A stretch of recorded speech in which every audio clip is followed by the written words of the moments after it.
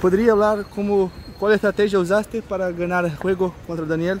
Bueno, acá en, en Río de Janeiro las condiciones están muy lentas, así que me propuse jugarle, sobre todo abrirlo por el revés y después sacarlo por la derecha. Iba a ser un partido muy largo porque nada, él es un gran batallador y, y bueno, me preparé para eso.